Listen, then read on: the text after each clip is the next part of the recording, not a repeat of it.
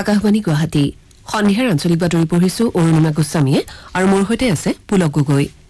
এতিয়া প্ৰধান বাতৰিসমূহ হ'ল ন্যায়াধীশ সন্দীপ মেহতাৰ আজি গুৱাহাটী উচ্চ ন্যায়ালয়ৰ মুখ্য ন্যায়াধীশৰূপে শপত গ্ৰহণ কাইলৈ ষাঠিজনীয়া ত্ৰিপুৰা বিধানসভাৰ নিৰ্বাচনৰ ভোটগ্ৰহণ শান্তিপূৰ্ণ মুক্ত নিকা আৰু নিৰপেক্ষ ভোটগ্ৰহণ অনুষ্ঠিত কৰাৰ বাবে সকলো প্ৰস্তুতি সম্পূৰ্ণ। প্ৰথম আৰু দ্বিতীয় পৰ্যায়ৰ গুণোৎসৱৰ সফল সামৰণিৰ পাছত ৰাজ্যত আজিৰে পৰা অহা ওঠৰ ফেব্ৰুৱাৰীলৈ তৃতীয় পৰ্যায়ৰ গুণোৎসৱ পশুপালন পশু চিকিৎসা বিভাগ অসম পশুধন আৰু হাঁহ কুকুৰা নিগমৰ উদ্যোগত খানাপাৰাত আজিৰে পৰা তিনিদিনীয়াকৈ অসম হাঁহ কুকুৰা মেলা আৰু প্ৰধানমন্ত্ৰী আৱাস যোজনা গ্ৰামীণৰ অধীনত মুখ্যমন্ত্ৰী ডঃ হিমন্ত বিশ্ব শৰ্মাৰ কাইলৈ তিনি লাখ আশী হাজাৰ হিতাধিকাৰীক চেক বিতৰণৰ কাৰ্যসূচী। ৰাজস্থান উচ্চ ন্যায়ালয়ৰ ন্যায়াধীশ সন্দীপ মেহতাই গুৱাহাটী উচ্চ ন্যায়ালয়ৰ মুখ্য ন্যায়াধীশৰূপে শপত গ্ৰহণ কৰিছে। ৰাজভৱনৰ দৰবাৰ হলত আয়োজিত এটা গাম্ভীৰ্যপূৰ্ণ অনুষ্ঠানত ৰাজ্যপাল প্ৰফেচাৰ জগদীশ মুখীয়ে ন্যায়াধীশ মেহতাক পদ আৰু গোপনীয়তা ৰক্ষাৰ শপত বাক্য পাঠ কৰোৱায়। শপত গ্ৰহণ অনুষ্ঠানত মুখ্যমন্ত্ৰী ডঃ হিমন্ত বিশ্ব শৰ্মাও উপস্থিত থাকে। উল্লেখযোগ্য যে ৰাজস্থান উচ্চ ন্যায়ালয়ৰ ন্যায়াধীশ মেহতাক অলপতে উচ্চতম ন্যায়ালয়ৰ কলেজিয়ামে গুৱাহাটী উচ্চ ন্যায়ালয়ৰ মুখ্য ন্যায়াধীশৰূপে মনোনীত কৰে। ন্যায়াধীশ মেহতাই দুহেজাৰ পঁচিছ চনৰ দহ জানুৱাৰীত অৱসৰ গ্ৰহণ কৰিব। ত্ৰিপুৰা বিধানসভাৰ নিৰ্বাচনৰ কাইলৈ হ'বলগীয়া ভোটগ্ৰহণৰ বাবে সকলো প্ৰস্তুতি সম্পূৰ্ণ হৈছে। নিৰ্বাচন আয়োগে ভোটগ্ৰহণ প্ৰক্ৰিয়া শান্তিপূৰ্ণ মুক্ত আৰু নিকাকৈ অনুষ্ঠিত কৰাৰ বাবে ইতিমধ্যে সকলো ব্যৱস্থা গ্ৰহণ কৰিছে। কাইলৈ পুৱা সাত বজাৰ পৰা ভোটগ্ৰহণ কৰা হ'ব। ভোটগ্ৰহণৰ কামত নিযুক্ত বিষয়া কৰ্মচাৰীসকলে ই ভি এম আৰু অন্যান্য সামগ্ৰীসহ নিৰ্ধাৰিত ভোটগ্ৰহণ কেন্দ্ৰত উপস্থিত হৈছেগৈ।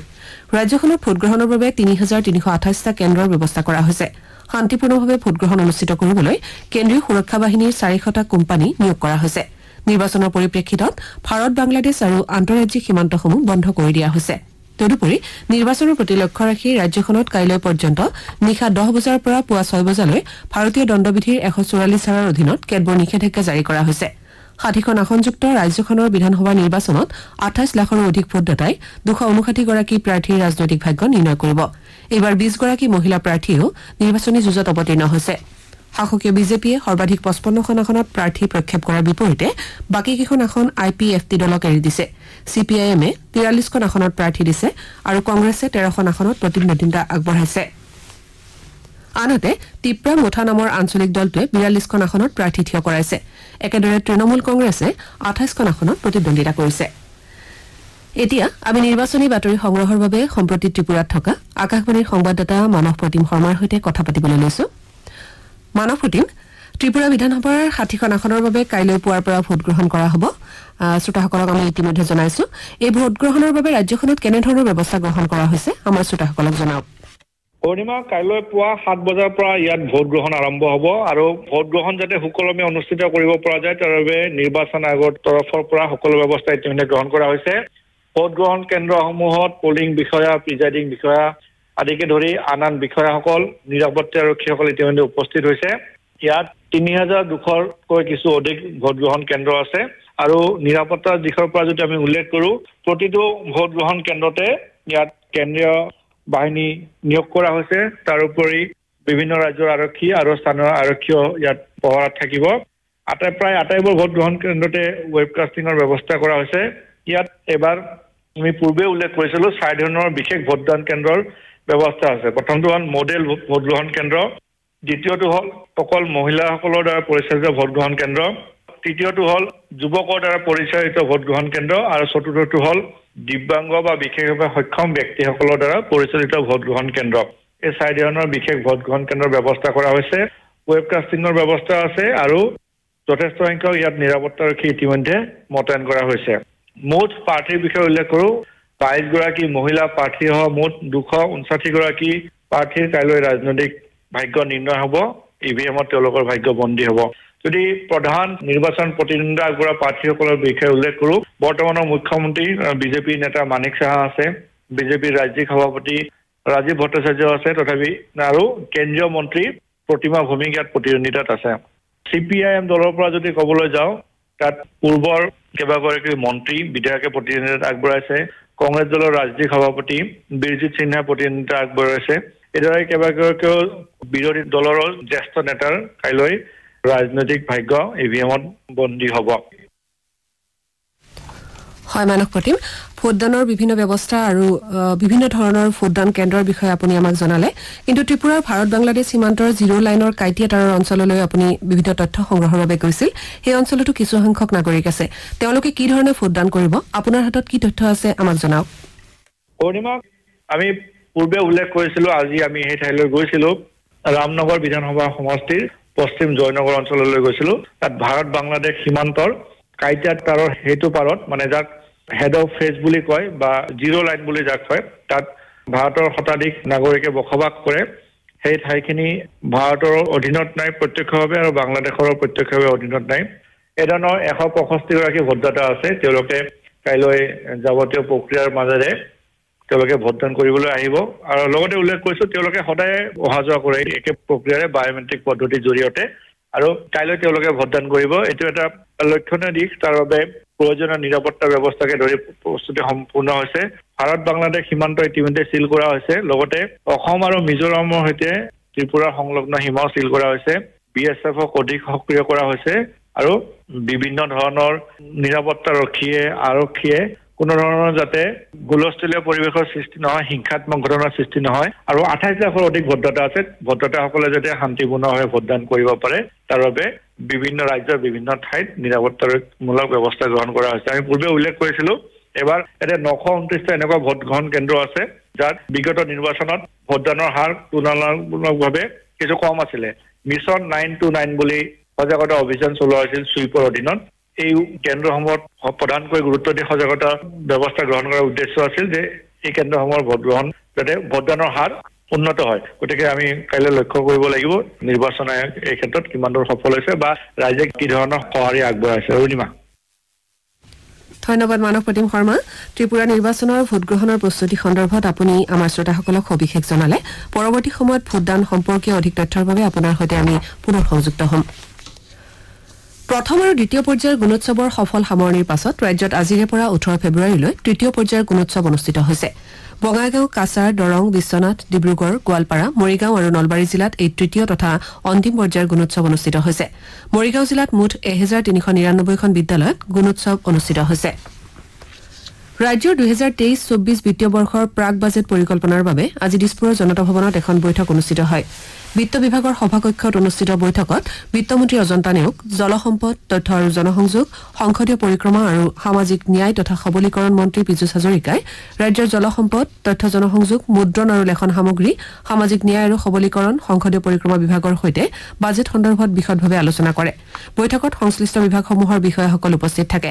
ইফালে ৰাজ্যৰ জনস্বাস্থ্য কাৰিকৰী দক্ষতা বিকাশ আৰু পৰ্যটন মন্ত্ৰী জয়ন্ত মল্ল বৰুৱাই কালি জনতা ভৱনৰ নিজৰ কাৰ্যালয়ত দক্ষতা বিকাশ আৰু উদ্যমিতা বিভাগৰ বিষয়াসকলৰ সৈতে দুহেজাৰ তেইছ চৌবিছ বিত্তীয় বৰ্ষৰ বাজেটৰ বাবে পৰিকল্পনা যুগুত কৰে।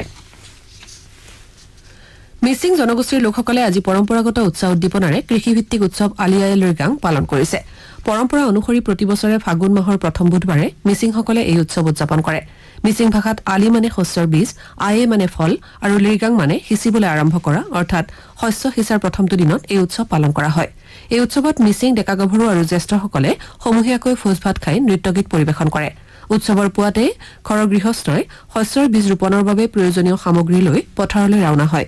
ইয়াৰ পূৰ্বে পৰম্পৰা ৰক্ষা কৰি পূৰ্বপুৰুষক সাক্ষ্য সাক্ষী কৰি শস্য সিঁচাৰ শুভ কাৰ্যত সফলতা লাভ কৰাৰ বাবে আশীষ বিচৰা হয়। আজি মিচিং বসতি প্ৰধান অঞ্চলসমূহত জনগোষ্ঠীটোৰ লোকসকলে উলহ মালহেৰে এই উৎসৱৰ আয়োজন কৰে। ৰিগাং উপলক্ষে পুৱাৰে পৰা মিচিং জনগোষ্ঠী বসতি প্ৰধান অঞ্চলসমূহ গুমৰাং ঐনিতমৰ সুৰেৰে মুখৰ হৈ উঠে। ৰাজ্য চৰকাৰৰ সাংস্কৃতিক পৰিক্ৰমা বিভাগৰ উদ্যোগত আৰু লখিমপুৰ জিলা প্ৰশাসনৰ সহযোগত উত্তৰ লখিমপুৰৰ মিচিং কলাকৃষ্টি বিকাশ কেন্দ্ৰ আৰু মুৰং অকুমত কেন্দ্ৰীয়ভাৱে আলি আই লৃগাগৰ আয়োজন কৰা হয়। শ্ৰোতাসকলে সন্ধিয়াৰ আঞ্চলিক বাতৰি শুনিছে আকাশবাণী গুৱাহাটী কেন্দ্ৰৰ পৰা।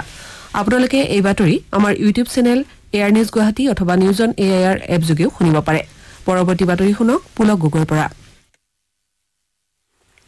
ৰাজ্য চৰকাৰৰ পশুপালন পশু চিকিৎসা বিভাগ আৰু অসম পশুধন আৰু হাঁহ কুকুৰা নিগমৰ উদ্যোগত আজিৰে পৰা তিনিদিনীয়া কাৰ্যসূচীৰে পশুধন আৰু হাঁহ কুকুৰা মেলা অনুষ্ঠিত হৈছে।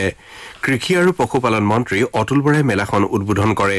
গুৱাহাটীৰ খানাপাৰাৰ পশু চিকিৎসা মহাবিদ্যালয়ৰ খেলপথাৰত আয়োজিত হাঁহ কুকুৰাৰ মেলাখন উদ্বোধন কৰি মন্ত্ৰীগৰাকীয়ে কয় যে ৰাজ্যখনৰ গ্ৰাম্যাঞ্চলৰ সৰ্বাংগীন উন্নয়নেহে দেশৰ অৰ্থনীতি সবল কৰিব। এই মেলাত পশুপালন ক্ষেত্ৰখনৰ বিভিন্ন দিশত প্ৰশিক্ষণ আৰু কৰ্মশালা অনুষ্ঠিত হ'ব। ৰাজ্যখনৰ বিভিন্ন প্ৰান্তৰ পশুপালকসকলৰ লগতে যুৱক যুৱতীসকলে মেলাখনত অংশগ্ৰহণ কৰিছে। এই প্ৰশিক্ষণ তথা কৰ্মশালাত বিজ্ঞানী তথা বিশেষজ্ঞসকল সমল ব্যক্তি হিচাপে উপস্থিত থাকি উদ্যোগী যুৱক যুৱতীক প্ৰশিক্ষণ দিয়ে। মেলাত ছাগলী গাহৰি গোধন হাঁহ কুকুৰা ইত্যাদিৰ বিভিন্ন প্ৰজাতি প্ৰদৰ্শন কৰা হৈছে। এই মেলাত দুই শতাধিক বিপণীয়ে অংশগ্ৰহণ কৰিছে। বিপণীসমূহৰ ভিতৰত আছে চৰকাৰৰ কৃষি বিভাগ উদ্যান শস্য বিভাগ অসম বীজ নিগম দুগ্ধ উন্নয়ন বিভাগ মীন বিভাগ অসম কৃষি বিশ্ববিদ্যালয় পশু চিকিৎসা বিজ্ঞান মহাবিদ্যালয় কৃষি আৰু খাদ্য সংসাধন ৰপ্তানি উন্নয়ন সংস্থা এপাৰ্ট অসম খাদী আৰু গ্ৰামোদ্যোগ বৰ্ড। মেলাত ৰাজ্যখনৰ সৰ্বশ্ৰেষ্ঠ পশুপালকগৰাকীক নগদ এক লাখ টকাৰ পুৰস্কাৰ প্ৰদান কৰাৰ লগতে চাৰিওটা ক্ষেত্ৰৰ চাৰিজন শ্ৰেষ্ঠ পালকক পঁচিছ হাজাৰ টকাকৈ পুৰস্কাৰ প্ৰদান কৰা হ'ব। তদুপৰি প্ৰতিখন জিলাৰ চাৰিওটা ক্ষেত্ৰৰ চাৰিগৰাকীকৈ শ্ৰেষ্ঠ পশুপালককো পুৰস্কৃত কৰা হ'ব। উদ্বোধনী অনুষ্ঠানত অসম কৃষি বিশ্ববিদ্যালয়ৰ উপাচাৰ্য ডঃ বিদ্যুৎ চন্দন ডেকা উপস্থিত থাকে। অনুষ্ঠানত পশুধন আৰু হাঁহ কুকুৰা নিগমৰ অধ্যক্ষ মনোজ শইকীয়াও উপস্থিত থাকে। প্ৰধানমন্ত্ৰী আৱাস যোজনা গ্ৰামীণৰ অধীনত কাইলৈ মুখ্যমন্ত্ৰী ডঃ হিমন্ত বিশ্ব শৰ্মাই তিনি লাখ আশী হাজাৰ হিতাধিকাৰীক চেক বিতৰণৰ কাৰ্যসূচী আৰম্ভ কৰিব। মুখ্যমন্ত্ৰীগৰাকীয়ে কাইলৈ প্ৰথম কিস্তিৰ চেক বিতৰণ কৰিব। কাইলৈ দিনৰ বাৰ বজাত গুৱাহাটীৰ শ্ৰীমন্ত শংকৰদেৱ কলাক্ষেত্ৰত অনুষ্ঠিত হ'বলগীয়া এই কাৰ্যসূচীত পঞ্চায়ত আৰু গ্ৰামোন্নয়ন মন্ত্ৰী ৰঞ্জিত কুমাৰ দাসো উপস্থিত থাকিব। এই কাৰ্যসূচীৰ অধীনত ৰাজ্যৰ প্ৰতিখন জিলাতে সমান্তৰালভাৱে হিতাধিকাৰীসকলৰ মাজত প্ৰথম কিস্তিৰ চেক বিতৰণ কৰা হ'ব। কাৰ্বি আংলং জিলাত আজিৰে পৰা ক্ষুদ্ৰ লঘু আৰু মজলীয়া উদ্যোগ ব্যৱসায় আৰু বাণিজ্য সন্মিলন অনুষ্ঠিত হৈছে। কাৰ্বি আংলং স্বায়ত্তশাসিত পৰিষদৰ উদ্যোগ বাণিজ্য আৰু ৰাজহুৱা প্ৰতিষ্ঠান বিভাগে ডিফুৰ সমীপৰ তাৰালাংচৰ কাৰ্বি যুৱ মহোৎসৱ স্থলীত এই সন্মিলনৰ আয়োজন কৰিছে। ঊনৈশ ফেব্ৰুৱাৰীলৈকে চলিবলগীয়া এই সন্মিলন আজি কাৰ্বি আংলং স্বায়ত্তশাসিত পৰিষদৰ শিক্ষা বিভাগৰ কাৰ্যবাহী সদস্য ৰিচাৰ্ড টকবিয়ে উদ্বোধন কৰে। অনুষ্ঠানত পৰিষদৰ কেইবাগৰাকীও কাৰ্যবাহী সদস্য আৰু অন্যান্য সদস্যসকল উপস্থিত থাকে। বাৰাণসীৰ পৰা বাংলাদেশ হৈ ডিব্ৰুগড় অভিমুখী বিশ্বৰ সৰ্বাধিক দূৰত্বৰ প্ৰমোত্তৰী এম ভি গংগাবিলাস অহা সোতৰ ফেব্ৰুৱাৰীত ধুবুৰী পাবহি। ধুবুৰী জিলা প্ৰশাসনে জাহাজখনৰ যাত্ৰীসকলক আদৰাৰ বাবে প্ৰস্তুতি প্ৰায় সম্পূৰ্ণ কৰি তুলিছে। জিলাখনৰ আভ্যন্তৰীণ জল পৰিবহণ বিভাগৰ নিগমৰ অধীনৰ ব্ৰহ্মপুত্ৰৰ ঘাট আটক ধুনীয়াকৈ সজাই পৰাই তোলা হৈছে। ইয়াৰ লগতে জিলাখনত নিৰাপত্তা ব্যৱস্থা কটকটীয়া কৰি তোলা হৈছে। জাহাজখনৰ যাত্ৰীসকলে সোতৰ ফেব্ৰুৱাৰীৰ নিশা ধুবুৰীত কটোৱাৰ লগতে জিলাখনৰ কেইবাটাও গুৰুত্বপূৰ্ণ স্থান ভ্ৰমণ কৰিব। তেওঁলোকে গৌৰীপুৰৰ আচাৰীকান্তিৰ পেৰামিটাৰ শিল্পৰ বাবে প্ৰসিদ্ধ গাঁওখন ভ্ৰমণ কৰিব বুলি চৰকাৰী সূত্ৰই প্ৰকাশ কৰিছে। আকাশবাণী ডিব্ৰুগড় কেন্দ্ৰত আজিৰে পৰা অনাতাঁৰ নাট সমাৰোহ দুহেজাৰ তেইছ অনুষ্ঠিত হৈছে। এই উপলক্ষে আজি এখন স্মৰণিকা উন্মোচন কৰা হয়। এই সমাৰোহ আঠাইছ মাৰ্চত সামৰণি পৰিব। নাট সমাৰোহত ৰাজ্যৰ ওঠৰটা অপেচাৰী নাট্যগোষ্ঠীয়ে ঊনৈছখন নাটক পৰিৱেশন কৰিব। কাইলৈৰ পৰা প্ৰতিনিশা চাৰে ন বজাত এই নাটক ডিব্ৰুগড় কেন্দ্ৰযোগে সম্প্ৰচাৰ কৰা হ'ব। এই নাটকৰ পুনৰ সম্প্ৰচাৰ পাছদিনা পুৱা চাৰে আঠ বজাত শ্ৰোতাসকলে শুনিবলৈ পাব। ৰাজ্যৰ জনস্বাস্থ্য কাৰিকৰী দক্ষতা বিকাশ আৰু পৰ্যটন বিভাগৰ মন্ত্ৰী জয়ন্ত মল্ল বৰুৱাই আজি নলবাৰী বিধানসভা সমষ্টিত প্ৰজ্ঞা যোজনা আঁচনি মুকলি কৰে। উল্লেখযোগ্য যে এই আঁচনিৰ জৰিয়তে ৰাজ্যৰ যোগ্য যুৱক যুৱতীসকলক অসম লোকসেৱা আয়োগৰ প্ৰতিযোগিতামূলক পৰীক্ষাৰ বাবে প্ৰস্তুত কৰি তোলা হ'ব। ইতিমধ্যে জিলাখনৰ ষাঠিগৰাকী মেধাৱী ছাত্ৰ ছাত্ৰীক ইয়াৰ বাবে নিৰ্বাচন কৰা হৈছে। মন্ত্ৰী বৰুৱাই এই ব্যৱস্থাৰ জৰিয়তে জিলাখনৰ মেধাৱী ছাত্ৰ ছাত্ৰীসকলৰ ভৱিষ্যত সুন্দৰ হ'ব বুলি আশা প্ৰকাশ কৰে। দক্ষিণ হালমৰা মানকাছৰ জিলাৰ সদৰ সাঠিঙমাৰীৰ জিলা উপায়ুক্তৰ কাৰ্যালয়ত আজি বিভাগীয় স্থায়ী সমিতিৰ এখন পৰ্যালোচনা বৈঠক অনুষ্ঠিত হয়। বিভাগীয় স্থায়ী সমিতিৰ অধ্যক্ষ গোবিন্দ চন্দ্ৰ বসুমতাৰীৰ সভাপতিত্বত অনুষ্ঠিত বৈঠকত জিলা উপায়ুক্ত বিদ্যুৎ বিকাশ ভাগৱতীৰ লগতে বিভিন্ন বিভাগৰ বিষয়া কৰ্মচাৰীসকল উপস্থিত থাকে।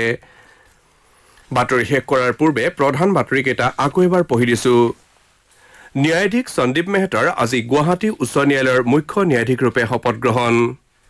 কাইলৈ ষাঠিজনীয়া ত্ৰিপুৰা বিধানসভাৰ নিৰ্বাচনৰ ভোটগ্ৰহণ প্ৰথম আৰু দ্বিতীয় পৰ্যায়ৰ গুণোৎসৱৰ সফল সামৰণিৰ পাছত ৰাজ্যত আজিৰে পৰা অহা ওঠৰ ফেব্ৰুৱাৰীলৈ তৃতীয় পৰ্যায়ৰ গুণোৎসৱ। পশুপালন পশু চিকিৎসা বিভাগ অসম পশুধন আৰু হাঁহ কুকুৰা নিগমৰ উদ্যোগত খানাপাৰাত আজিৰে পৰা তিনিদিনীয়াকৈ অসম হাঁহ কুকুৰা মেলা আৰু প্ৰধানমন্ত্ৰী আৱাস যোজনা গ্ৰামীণৰ অধীনত মুখ্যমন্ত্ৰী ডঃ হিমন্ত বিশ্ব শৰ্মাৰ কাইলৈ তিনি লাখ আশী হাজাৰ হিতাধিকাৰীক চেক বিতৰণৰ কাৰ্যসূচী। আমাৰ সন্ধিয়াৰ আঞ্চলিক বাতৰি এতিয়া ইমানতে শেষ হ'ল